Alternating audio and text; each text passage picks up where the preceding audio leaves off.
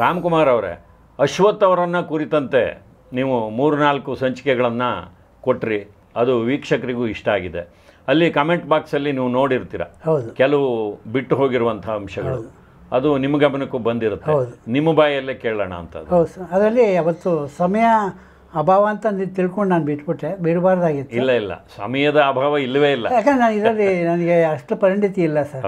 ನನಗೆ ಇದ್ರ ಬಗ್ಗೆ ಯೋಚನೆ ಮಾಡೋ ಶಕ್ತಿನೇ ಇಲ್ಲ. ಇದೇ ನಾನು ನಿಮ್ಮಷ್ಟು ತಿಳುವಳಿಕೆ ಇದ್ದೀರಿ ಬಹುಶಃ ಹೇಳ್ಬಿಡ್ತಾ ಇದ್ನಲ್ಲ ಸಮಯ ನಿಮಗಾಗಿ ನಾವು ಸಮಯನ ಕೊಡ್ತೀವಿ ಎಷ್ಟು ಹಾಗಾಗಿ ನಾನು ಅಲ್ಲಿ ಮೂರು ಸಿನಿಮಾ ಹೇಳಿಲ್ಲ ಅದನ್ನು ಹೇಳ್ಬಿಡ್ತೀನಿ. ಒಂದು ಅಶ್ವಥ್ ಅವರು ತಂದೆ ಅಣ್ಣ ಎಲ್ಲ ಸಂಬಂಧಗಳು ಹೇಳಿದಾಗ ಭಾವನ್ ಬಿಟ್ಬಿಟ್ಟೆ ಅಕ್ಕನ ಗಂಡ ಭಾವ. ಅಕ್ಕನ ಗಂಡ ಭಾವನ್ ಪಾತ್ರ ಎರಡು ಚಿತ್ರ ನಡೆಸಿದ್ದಾರೆ. ಒಂದು ಹೊಸ ಬೆಳಕು ಇನ್ನೊಂದು ದೇವತಾ ಮನುಷ್ಯ ಹೊಸ ಬೆಳಕು ಪಾತ್ರ ಹೇಗಿದೆ ಅಂದರೆ ಅವ್ರಿಗೆ ಅವ್ರ ಕಂಡ್ರೇ ಆಗಲ್ಲ. ಇವನು ಯಾಕೆ ಮನೆಗೆ ಬಂದ ಇವನು ಯಾಕೆ ಇರ್ತಾನೆ ಇವನು ಹೋಗಬಾರ್ದ? ಟಿಕೆಟ್ ಕೂಡ ಬುಕ್ ಮಾಡ್ಕೊಂಡು ಬಂದ್ಬಿಟ್ಟಿರ್ತಾರೆ. ಅಂದರೆ ಬಾ ಭಾವ ಮೈದನ ಬಗ್ಗೆ ಅಷ್ಟು ಪ್ರೀತಿ ಇರುತ್ತಾರೆ. ಯಾಕಂದರೆ ಅವರು ಇವ್ರ ಮಗಳಿಗೆ ಅವ್ರು ಸಹಾಯ ಮಾಡ್ತಾರೆ ಅಂತ ಗೊತ್ತಿರಲ್ಲ ಪಾಪ.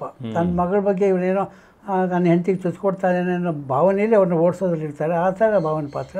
ಇನ್ನು ದೇವತಾ ಮನುಷ್ಯದಲ್ಲಿ ಏನಾಗುತ್ತೆ ಮಗಳನ್ನೇ ಕೊಟ್ಟು ಮದುವೆ ಮಾಡಬೇಕು ಅಂತ ಇರ್ತಾರೆ.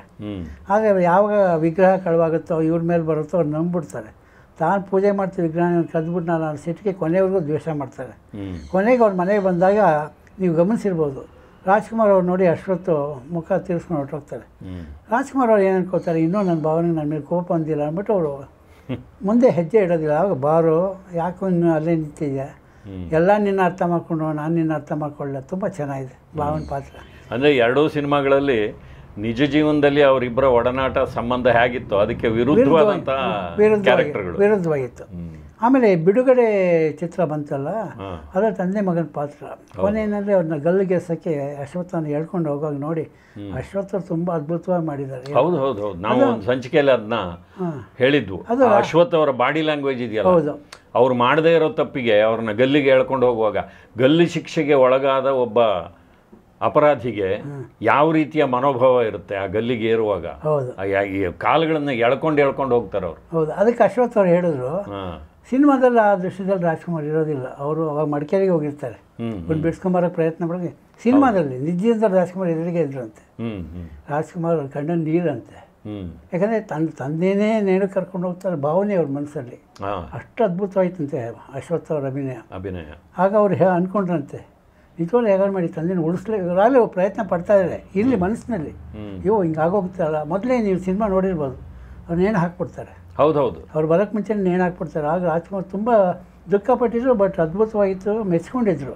ಅದು ಜನ ಬದಲಾಯಿಸ್ಬಿಟ್ಟು ನಿಮ್ಗೆ ಗೊತ್ತಿದೆ. ಹೌದು ಜನ ಹೇಳಿದ್ರು. ಹೌದು. ಇಷ್ಟೆಲ್ಲ ನಮ್ಮ ನಾಯಕ ಕಷ್ಟಪಟ್ಟ ಮೇಲೆ ಅವ್ರ ತಂದೆ ಗಲ್ಲಿಗೆ ಏರಿದ್ರೆ ಅದಕ್ಕೇನು ಅರ್ಥ ಇದೆ ಅಂತ ಹೇಳಿದಾಗ ಆ ಚಿತ್ರದ ಅಂತ್ಯವನ್ನು ಬದಲಾಯಿಸ್ಬೇಕಾಯ್ತು. ಹೌದು. ರಾಜ್ಕುಮಾರ್ ಅವರು ಆರ್ಡರ್ ತೊಗೊಂಡು ಬರ್ತಾರೆ. ಬಂದು ಅವರು ಮೂಲವಾಗಿ ಅದು ಅವ್ರು ಆರ್ಡರ್ ತೊಗೊಂಡು ಬರೋ ಅಷ್ಟೊತ್ತಿಗೆ ಅಲ್ಲಿ ನೇಣಿಗೆ ಏರಿಸ್ಬಿಟ್ಟಿರ್ತಾರೆ ಅಂತ ಇತ್ತು. ಆಮೇಲೆ ಅದನ್ನು ಇವರು ಆರ್ಡರ್ ತಂದು ಕೊಟ್ಬಿಟ್ಟು ಮತ್ತೆ ರೀಶೂಟ್ ಮಾಡಿದ್ರು ಅದನ್ನ. ಹೌದು. ನಾವು ಅದನ್ನು ಹೇಳಿದ್ವು ಭಾರತೀಯ ಚಿತ್ರರಂಗದಲ್ಲಿ ಒಂದು ಚಿತ್ರದ ಅಂತ್ಯವನ್ನು ಬದಲಾಯಿಸಿದ್ದು ಬಹುಶಃ ಇದೇ ಮೊದಲಿರಬೇಕು ಅಂತ. ಇದು ಎರಡನೇ ಸರ್. ಅದಕ್ಕೆ ಆಮೇಲೆ ಯಾರೋ ಹೇಳಿದ್ರು ತೆಲುಗಿನಲ್ಲಿ ಯಾವುದೋ ಒಂದು ಸಿನಿಮಾದಲ್ಲಿ ಆ ರೀತಿಯ ಅಂತ್ಯವನ್ನು ಬದಲಾಯಿಸಿದ್ರು ಅಂತ. ಇಲ್ಲ ಕನ್ನಡದಲ್ಲಾಗಿದೆ. ಚಂದ್ರಹಾಸ ಹಾಂ. ಉದಯ್ ಕುಮಾರ್ ಕೊನೆಗೆ ಸತ್ತೋಗ್ತಾರೆ ಹಾಂ ಹಾಂ. ಮೊದಲು ನೋಡಿದಾಗ ಉದಯ್ ಕುಮಾರ್ ಬದುಕಿರಲ್ಲ. ಹಾಂ. ಅವ್ರು ರಾಜ್ಕುಮಾರ್ ಅವರು ಹೇಳಿದ್ರಂತೆ. ಹಾಂ. ಪಾಪ ಇಷ್ಟೆಲ್ಲ ಕಷ್ಟಪಟ್ಟಿದ್ದಾನೆ. ದೇವಿ ಪ್ರತ್ಯಕ್ಷ ಆಗಿದ್ದಾಳೆ. ಇಷ್ಟಾಗಿ ಚಂದ್ರಹಾಸ ಮಾವನ ಕೇಳ್ಕೊಳ್ತೀರಿ ಹೇಗೆ? ಪಾಪ ಅವನು ಬದುಕಿಸ್ಬಿಡೋಣ. ಹೀಗಾಗಿ ಕೊನೆಯಲ್ಲಿ ಬದಲಾಯಿಸ್ಬಿಟ್ರು. ಪೂಜೆ ಉದಯ್ ಕುಮಾರ್ ಬದುಕ್ತಾರೆ.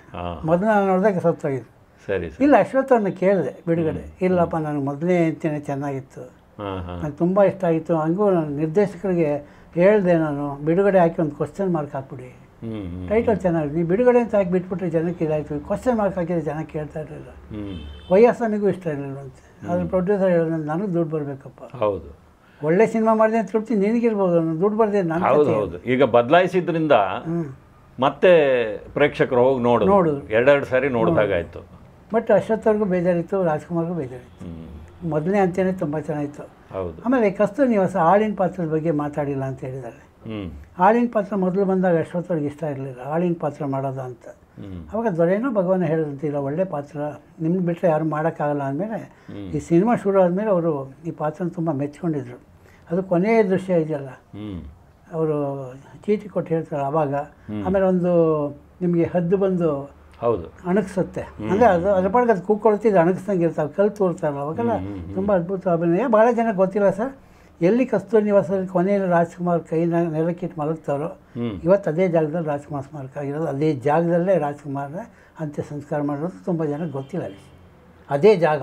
ಅದೇ ಜಾಗ ಅದೇ ಜಾಗ ಇವತ್ತು ಏನು ರಾಜ್ಕುಮಾರ್ ಸ್ಮಾರಕ ಇದೆಯೋ ಅದೇ ಜಾಗದಲ್ಲಿ ಕಂಠೀರವ ಸ್ಟುಡಿಯೋದಲ್ಲಿ ಗುಡಿಸಲು ಸೆಟ್ ಹಾಕಿ ಕೊನೆ ಶೂಟಿಂಗ್ ಆಗಿ ಶೂಟಿಂಗ್ ಆಗಿ ರಾಜ್ಕುಮಾರ್ ಅಲ್ಲೇ ಕೈ ಇಟ್ಟು ಮಲಗೋದು.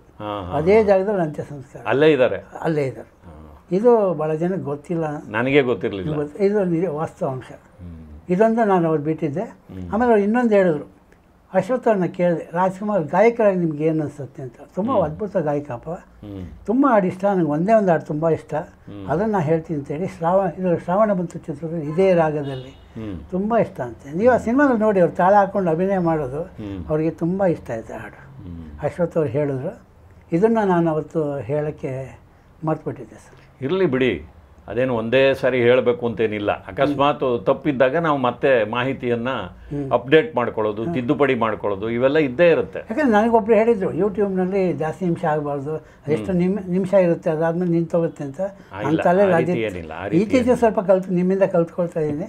ಸ್ವಲ್ಪ ಧೈರ್ಯ ಮಾಡ್ತಾ ಇದ್ದೀನಿ ಮಾತಾಡಿ. ಆಮೇಲೆ ಪುರುಷ ಪಾತ್ರಧಾರಿಗಳಿಗೆ ಅಂದರೆ ರಾಜ್ಕುಮಾರ್ ನಾಯಕನ ಪಾತ್ರಕ್ಕೆ ಹೆಸರುಗಳು ಯಾವ್ಯಾವ್ದಿತ್ತು ಅಂತ ನೀವು ಅವರ ಹುಟ್ಟಿದ ಹಬ್ಬದ ದಿವಸ ಒಂದು ಸಂಚಿಕೆ ಮಾಡಿದ್ವಲ್ಲ ಅಲ್ಲಿ ಸಹ ಕೆಲವು ಹೆಸರುಗಳನ್ನು ಬಿಟ್ಟಿದ್ದೀರಿ ಅಂತ ಕೆಲವರು ಕಮೆಂಟ್ ಬಾಕ್ಸಲ್ಲಿ ಹಾಕಿದ್ದಾರೆ. ನೀವು ಹೇಳಿದ್ರಿ. ನಾನು ಇಷ್ಟನ್ನು ಹೇಳಿದ್ದೀನಿ. ನಾನು ಯಾವುದಾದ್ರೂ ಬಿಟ್ಟಿದ್ರೆ ನೀವು ಹೇಳಿ ಅಂತ. ಇಲ್ಲ ಇದು ಇನ್ನೊಂದಾಗೋಯ್ತು ಸರ್. ನನಗೆ ಪೂರ್ತಿ ಮಾಹಿತಿ ಕೊಡಬೇಕು ಅಂತಲೇ ಸಿದ್ಧವಾಗಿದ್ದೆ. ಇದ್ದಕ್ಕಿದ್ದಂಗೆ ಒಂದು ಆಲೋಚನೆ ಬಂತು. ಯಾವುದಾದ್ರು ಸಿನಿಮಾ ಬಿಟ್ಟರೆ ಯಾರೋ ಗುರ್ತು ಗುರ್ತು ಹಿಡಿತಾರಾ ಹೇಳ್ತಾರ ಅಂತ ಒಂದು ಕುತೂಹಲ ಇತ್ತು. ಒಂದು ಮೂರು ಸಿನಿಮಾ ಬೇಡ ಅಂತ ಮುಂಚೆನೇ ನಾನು ನಿರ್ಧಾರ ಮಾಡಿದ್ದೆ. ಆದರೆ ಗಾಬರಿನಲ್ಲಿ ಆರು ಏಳು ಫಿಲಮ್. ಬಿಟ್ಬಿಟ್ಟಿದ್ದೀನಿ. ಈಗ ನಾನು ಈ ಕಾಮೆಂಟ್ ಬಾಕ್ಸಲ್ಲಿ ನೋಡ್ತಾ ಇದ್ದೀನಿ. ನಿತಿನ್ ಅಂತ ಒಬ್ಬರು ನಿತಿನ್ ಅಂತ ಭಾಳ ಹೌದು ಹೌದು. ಹೌದು ಸಮಗ್ರವಾಗಿ ಬರೆದಿದ್ದಾರೆ. ತುಂಬ ಸಂತೋಷ ಆಯಿತು. ಎಷ್ಟು ಚೆನ್ನಾಗಿ ಅವರು ವೀಕ್ಷಣೆ ಮಾಡಿದ್ದಾರೆ ಸಂಚಿಕೆ ಅಂದರೆ ತುಂಬ ಸಂತೋಷ ಆಯಿತು. ಆಮೇಲೆ ಇನ್ನೊಬ್ಬರು ಮಾರುತಿ ಅಂತ ಒಬ್ರು ಇದ್ದರು ಆಮೇಲೆ ಇನ್ನೊಬ್ಬರು ನಮ್ಮ ಆರ್ ವಿ ಮೂರ್ತಿ ಅಂತ ಒಬ್ರು ಇದ್ದರು ಸಚಿನ್ ರಾಜ್ ಅಂತ ಇದ್ದರು ಇವರೆಲ್ಲ ಕಾಮೆಂಟ್ ಬಾಕ್ಸ್ನಲ್ಲಿ ಹಾಕಿದ್ದಾರೆ ಅದು ಬಿಟ್ಟಿದ್ದೀರ ಅಂತ. ಈಗ ನಾನು ಹೇಳ್ತೀನಿ ಕೆಲವೊಂದು ಉದ್ದೇಶಪೂರ್ವಕ ಬಿಟ್ಟಿದ್ದೆ ಕೆಲವೊಂದು ಆತ್ರ ಆತ್ರವಾಗಿ ಹೇಳುವಾಗ ಬಿಟ್ಟಿದ್ದೆ. ಆಮೇಲೆ ನಾ ಈ ಮೂರುವರೆ ವಜ್ರದಲ್ಲಿ ನಾರದಾನಕ್ಕೆ ಹೋಗಿ ಅರ್ಜುನ ಅಂತ ಹೇಳಿದ್ದೆ. ಈಗ ಬಿಟ್ಟೋಗಿರೋ ಪಾತ್ರಗಳನ್ನ ಕೊಟ್ಬಿಡ್ತೀನಿ ಈ ಮಾಹಿತಿ ಸಂಪೂರ್ಣ ಆಗ್ಬಿಡುತ್ತೆ ಹೇಳಿ ಮೊದಲನೇದಾಗಿ ಚಂದ್ರಹಾಸ ಬಿಟ್ಟಿದ್ದೆ. ಅದು ಚಂದ್ರಹಾಸ. ಗಂಡೊಂದು ಹೆಣ್ಣಂದ್ರೆ ಆನಂದ್ ಅಂತ ಹೆಸರು ಆನಂದರಾವ್ ಅದನ್ನು ನಾ ಬಿಟ್ಟಿದ್ದೆ. ದೇವರು ಕೊಟ್ಟ ತಂಗಿನಲ್ಲಿ ರಘು. ಅದನ್ನು ನಾನು ಬಿಟ್ಟಿದ್ದೆ. ಉದ್ದೇಶಪೂರ್ವಕ ಬಿಟ್ಟಿದ್ದು ಶ್ರುತಿ ಸೇರಿದಾಗ. ಅದರಲ್ಲಿ ಡಾಕ್ಟರ್ ಎನ್ ಮೂರ್ತಿ ಅಂತ. ಆಮೇಲೆ ಇನ್ನೊಂದು ಬಂಗಾರ ಬಂಜರ ಯಾಕೆ ಬಿಟ್ಟಿದೆ ಅಂದರೆ ತುಂಬ ಹೆಸರುವಾದ ಪಾತ್ರ. ಜನ ಕಂಡಿಡಿತಾರೆ ಬೀರನ್ನ ಅಂದ್ಕೊಂಡು ಆ ಬಿಟ್ಟಿದ್ದೆ ಅದು ಬೀರ ಅಂತ ಹೆಸರು. ಇವಾಗ ಯಾರೊಬ್ರು ಬರೆದಿದ್ರು ನನ್ನ ಹೆಸರು ಬಾಲು ಅಂತ. ನನ್ನ ಹೆಸರು ಇಟ್ಟಿಲ್ಲ ರಾಜ್ಕುಮಾರ್ ಅಂತ. ನೀವೇನು ಬೇಜಾರು ಮಾಡ್ಕೋಬೇಡಿ. ನಾಡಿನ ಭಾಗ್ಯದಲ್ಲಿ ಅವ್ರು ಸಿ ಡಿ ಇನ್ಸ್ಪೆಕ್ಟರ್ ಬರ್ತಾರೆ ಅದರಲ್ಲಿ ಅವ್ರ ಹೆಸರು ಬಾಲು ಅಂತ. ಮತ್ತು ಗಾಂಧಿನಗರದಲ್ಲಿ ತಂದೆ ಪಾತ್ರ ರಾವ್ ಅಂತ ಹೇಳಿದ್ದೆ. ಒಬ್ಬರು ಬರೆದಿದ್ದಾರೆ ಮಹಾದೇವಯ್ಯ ಅಂತ. ಅದು ಸಂತೋಷ ಮಹಾದೇವ ಅಂತಲೇ ಹೆಸರು ಕರೆಕ್ಟ್ ಆಗಿದೆ. ಕನ್ನಿಕಾ ಪರಮೇಶ್ವರ ಕಥೆಯಲ್ಲಿ ರಾಜ್ಕುಮಾರ್ ಎರಡು ಪಾತ್ರ ಮಾಡಿದ್ದಾರೆ. ಗಂಧ ಗಂಧರ್ವನಾಗಿ ಮೊದಲು ಕಾಣಿಸ್ಕೊಡ್ತಾರೆ. ಅದ್ರ ಹೆಸರು ಚಿತ್ರಕಂಠ ಅದನ್ನು ನಾನು ಬಿಟ್ಟಿದ್ದೆ ಸರ್. ಚಿತ್ರಕಂಠ. ಆಮೇಲೆ ಪರೋಪಕಾರಿನಲ್ಲಿ ಡ್ರೈವರ್ ಹೆಸರು ರಾಜು ಅಂತ ಹೇಳಿದ್ದೆ. ಅದರ ಹೆಸರು ರಾಮಣ್ಣ. ಇದಿಷ್ಟು ನಾನು ಬಿಟ್ಟಿದ್ದೆ. ಅದನ್ನು ದಯವಿಟ್ಟು ಇದನ್ನು ಸೇ ಸೇರಿಸ್ಕೊಂಬಿಟ್ರೆ ಮಾಹಿತಿ ಸಂಪೂರ್ಣ ಆಗುತ್ತೆ.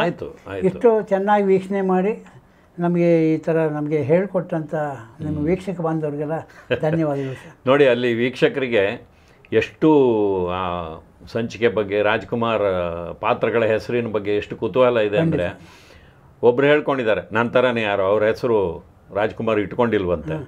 ಅದಕ್ಕೆ ಈಗ ಅವರ ಪತ್ನಿ ಗರ್ಭಿಣಿ ಮಗುವನ್ನು ನಿರೀಕ್ಷೆ ಮಾಡ್ತಾ ಇದ್ದಾರೆ. ಆ ಮಗುವಿಗೆ ರಾಜ್ಕುಮಾರ್ ಅವರ ಯಾವುದಾದ್ರೂ ಒಂದು ಪಾತ್ರದ ಹೆಸರನ್ನೇ ಇಡ್ತೀವಿ. ಅದು ಗಂಡು ಮಗು ಆದ್ರೆ.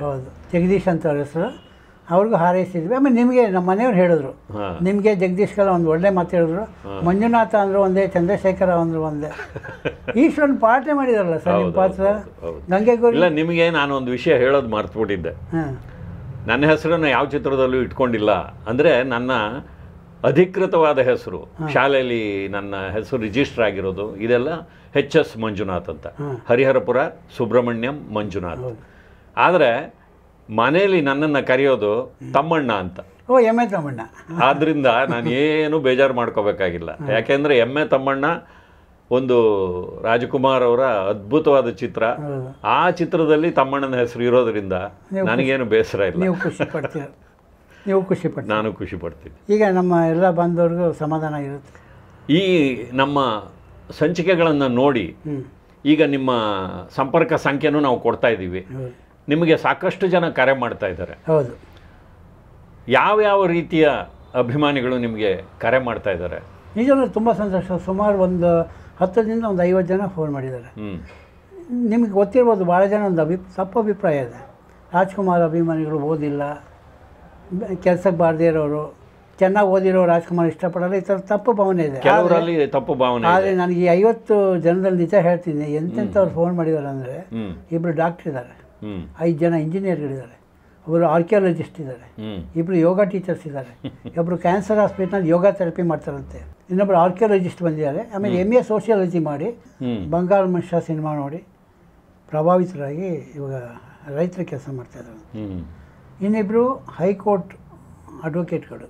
ಅವರು ಗಾಯಕರು ಕೂಡ ರಾಜ್ಕುಮಾರ್ ಹಾಡುಗಳನ್ನ ಹಾಡ್ಕೊಂಡು ಯೂಟ್ಯೂಬ್ನಲ್ಲಿ ಅಡ್ವೊಕೇಟ್ ಆಗಿದ್ದಾರಂತೆ. ಅವರು ರಾಜ್ಕುಮಾರ್ ಬಗ್ಗೆ ಭಾಳ ಮಾತಾಡಿದ್ದಾರೆ. ಇನ್ನಿಬ್ಬರು ಫಾರಿನಿಂದ ಫೋನ್ ಮಾಡಿದರು. ಸರ್ ನಿಮ್ಮ ಟೋಟಲ್ ಕನ್ನಡ ಯೂಟ್ಯೂಬ್ ಎಲ್ಲ ನೋಡ್ತಾ ಇದ್ದೀವಿ. ನಿಂದು ಮಂಜುನಾಥ್ ತುಂಬ ಚೆನ್ನಾಗಿದೆ. ಯಾರೇನೇ ಹೇಳಿ ನೀವು ಅದು ಗಮನ ಕೊಡಬೇಡಿ ಮುಂದುವರ್ಸ್ಕೊಂಡು ಹೋಗಿ. ಆಯ್ತಾ ನಿಮ್ಮಿಬ್ಬರಿಗೂ ದೇವರ ಆಯುರಾರೋಗ್ಯ ಕೊಡಲಿ ಅಂತ ಹಾರೈಸಿದ್ರು ಆಮೇಲೆ ಇನ್ನೊಂದು ಸಂತೋಷ ವಿಷಯ ಅಂದರೆ ಒಬ್ಬರು ಅನುಪಮ ಅಂತ. ನನಗೊಂದು ಇಮೇಲ್ ಹಾಕಿದ್ರು. ನಮ್ಮ ತಂದೆ ಹೆಸರು ಅಶ್ವಥ್ ನಾರಾಯಣ ಎಪ್ಪತ್ತೆರಡು ವರ್ಷ ಅವ್ರು ನಿಮ್ಮನ್ನ ನೋಡಬೇಕಂತೆ. ಆಮೇಲೆ ನಿಮ್ಮ ರಾಜಭಂಡಾರ ನೋಡಬೇಕಂತೆ. ದಯವಿಟ್ಟು ಒಂದು ಅವಕಾಶ ಕಲ್ಪಿಸ್ಕೊಡ್ತೀರಾ ಅಂತ ವಿನಂತಿ ಮಾಡಿ ನನಗೆ ಬೇಜಾರಾಗೋಯ್ತು. ಅಲ್ಲ ಈ ಕಾಲದ ತಂದೆ ತಾಯಿ ಬೇಡಿಕೆಗೆ ಮಕ್ಕಳು ಸ್ಪಂದಿಸಲ್ಲ ಅಂತಂದರೆ ಒಬ್ಬಳು ಮಗಳು. ಈ ರೀತಿ ಮಕ್ಕಳು ನನಗೆ ತುಂಬ ಸಂತೋಷ ಆಯಿತು. ಆಯಿತು ಬನ್ನಿ ಮಂದೆ ಅವ್ರು ರೆಡಿಯಾಗಿ ಕರ್ಕೊಂಡ್ಬಂದರು. ಮನೆ ನೋಡಿ ತುಂಬ ಸಂತೋಷ ಆಯಿತು.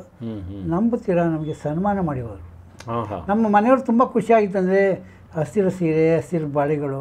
ಹೂವು ಕುಂಕುಮ ಎಲ್ಲ ಕೊಡೋರು ತುಂಬ ಖುಷಿಯಾಗಿತ್ತು ಹ್ಞೂ ಬೇರೆ ಶಾಲು ಹೊಸಿದ್ರೆ ಅವ್ರಿಗೆ ಅಷ್ಟು ಖುಷಿ ಆಗ್ತಾ ಇರಲಿಲ್ಲ. ಏನ್ ಮುತ್ತೈದೆ ಬೇಕು ಅದನ್ನೆಲ್ಲ ಕೊಟ್ಟಿದ್ದಾರೆ. ತುಂಬ ಸಂತೋಷಪಟ್ಟರು ಅವ್ರು ಕೇಳಿದ್ರು ನಮ್ಮ ತಂದೆ ಕೆಲವೊಂದು ಬೇಕು ನೋಡೋಕ್ಕೆ. ಕೊಡಿ ಅಂದ್ರೆ ಆಯ್ತಮ್ಮ ಕೊಡ್ತೀನಿ ನಾನು ಕಾಣಿಕೆಯಾಗಿ ಕೊಡ್ತೀನಿ ಅಂದೆ.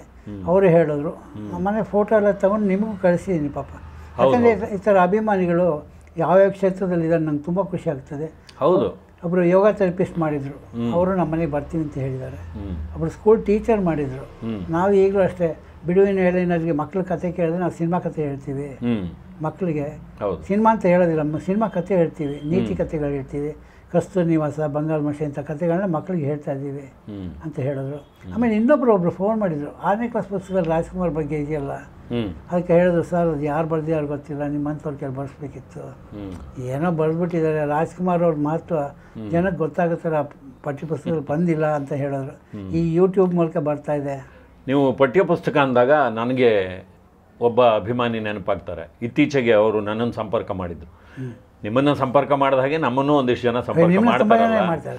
ಅವರಲ್ಲಿ ಒಬ್ಬರು ಮೈಸೂರಿನಿಂದ ಅಲ್ಲಿ ಒಂದು ಕಾಲೇಜಿನಲ್ಲಿ ಉಪನ್ಯಾಸಕರಾಗಿದ್ದಾರೆ. ಕೃಷ್ಣಮೂರ್ತಿ ಅಂತ.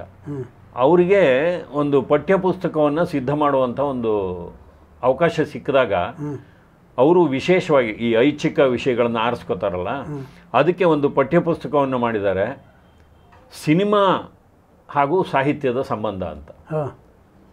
ಸಿನಿಮಾವನ್ನು ಕೂಡ ಪಠ್ಯಪುಸ್ತಕವನ್ನಾಗಿ ಮಾಡ್ಬೋದು ಅಂತ ಹೇಳಿ ಸಿನಿಮಾ ಅಭ್ಯಾಸವನ್ನು ಅವರು ಆ ಪಠ್ಯಪುಸ್ತಕವನ್ನಾಗಿ ಮಾಡಿದ್ದಾರೆ. ಅದು ಮೈಸೂರು ಪ್ರಸಾರಾಂಗದಿಂದ ಅವರ ವಿದ್ಯಾರ್ಥಿಗಳಿಗೋಸ್ಕರ ಪ್ರಿಂಟ್ ಆಗಿದೆ.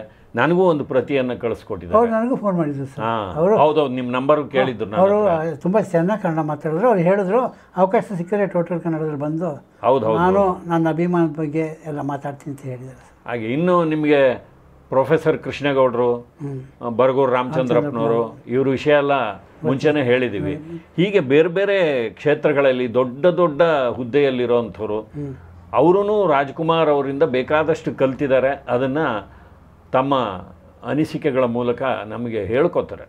ಆದ್ದರಿಂದ ರಾಜ್ಕುಮಾರ್ ಅವರ ಪ್ರಭಾವ ಇದೆಯಲ್ಲ ಅದು ಒಂದು ರೀತಿ ಸರ್ವವ್ಯಾಪಿ. ಸಮಾಜದಲ್ಲಿ ಗುಪ್ತಗಾಮಿನಿಯಾಗಿ ಸಾಕಷ್ಟು ಪ್ರಭಾವ ಬೀರಿದೆ ಅದು. ಅದನ್ನು ಒಂದು ಕಾಲದಲ್ಲಿ ಎಲ್ಲರೂ ಓಪನ್ ಆಗಿ ಹೇಳ್ಕೊತಾ ಇರಲಿಲ್ಲ. ಯಾಕೆಂದರೆ ಹೇಳಿಬಿಟ್ರೆ ಅದೇನೋ ಒಂದು ರೀತಿ ರಾಜ್ಕುಮಾರ್ ಇದ್ದಾಗ ಹೇಳ್ಕೊಂಡ್ರೆ ಮುಖಸ್ತುತಿ ಆಗುತ್ತೇನೋ, ಕಲಾವಿದರಾದವ್ರು ಹೇಳ್ಕೊಂಬಿಟ್ರೆ ಇವನು ಚಾನ್ಸ್ಗೋಸ್ಕರ ಬಕೆಟ್ ಹಿಡಿತಾನೆ, ಈ ಥರದ್ದೆಲ್ಲ ಒಂದು ಮನೋಭಾವ, ಆ ಥರದ ಕಮೆಂಟ್ಸ್ ಬರುತ್ತೆ ಅಂತ ಹೇಳಿ ಆಗ ಭಾಳ ಜನ ಹೇಳ್ತಿರಲಿಲ್ಲ. ಈಗ ಒಬ್ಬೊಬ್ಬರಾಗಿ ಒಬ್ಬೊಬ್ಬರಾಗಿ ಈ ರೀತಿಯ ಈ ಯೂಟ್ಯೂಬ್ನಂಥ ತಂತ್ರಜ್ಞಾನ ಎಲ್ಲ ಬಂದ ಮೇಲೆ ತಮ್ಮ ಅನಿಸಿಕೆಗಳನ್ನೆಲ್ಲ ಹೇಳ್ಕೊತಾರೆ. ಇವಾಗ ಟೋಟಲ್ ಕನ್ನಡ ನಮ್ಮ ಅಶ್ವಥ್ ಬಗ್ಗೆ ಪ್ರೋಗ್ರಾಮ್ ನೋಡಿ. ಅವರು ಕಾಮೆಂಟ್ ಹಾಕಿದ್ರು. ಇಷ್ಟೆಲ್ಲ ನೀವು ಹೇಳ್ತಿರಲ್ಲ ಅಷ್ಟು ಅನ್ಯಾನ್ಯವಾಗಿದ್ರು ಅಂತ. ಕೊನೆ ಕಾಲದಲ್ಲಿ ಅಶ್ವಥ್ ಅವರು ಅಷ್ಟು ಕಷ್ಟಪಟ್ಟರು ಅಂತ ಒಂದು ಯಾವುದೋ ಯೂಟ್ಯೂಬ್ನಲ್ಲಿ ಹಾಕಿದ್ದಾರೆ. ನಾನು ಹೇಳಿದೆ ಅದೆಲ್ಲ ಅಧಿಕೃತ ಮಾಹಿತಿ ಅಲ್ಲಪ್ಪ. ಮೊದಲು ಅವನ್ನ ಕೇಳಿ ನೀವು ಯಾರು? ನಿಮ್ಗೆ ಏನು ಅನುಭವ ಇದೆ? ರಾಜ್ಕುಮಾರ್ ನೋಡಿದ್ದೀರ ಅಶ್ವಥ್ ನೋಡಿದ್ರೆ ಕೇಳಿ ನೋಡಿ. ಅಲ್ಲಿ ಇಲ್ಲಿ ಕೇಳಿ ಬಂದು ಹೇಳೋದಲ್ಲ. ಬೇಕಾದ್ರೆ ಕೇಳಿ ಅಶ್ವಥ್ ಅವ್ರು ಎಷ್ಟು ಸ್ವಾಭಿಮಾನ ಅಂದರೆ ಅವ್ರು ದುಡ್ಡಿಸ್ಕೊಳ್ತಾ ಇರಲಿಲ್ಲ. ದುಡ್ಡು ಇಸ್ಕೊಳ್ತಾ ಹೆಂಗೆ ಕೊಡ್ತೀರಾ ಸರ್?